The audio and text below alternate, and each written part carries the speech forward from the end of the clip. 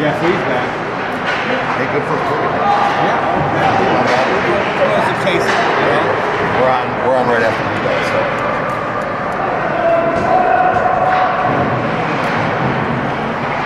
I think it's good for his pretty fast pace. I don't know how long we're to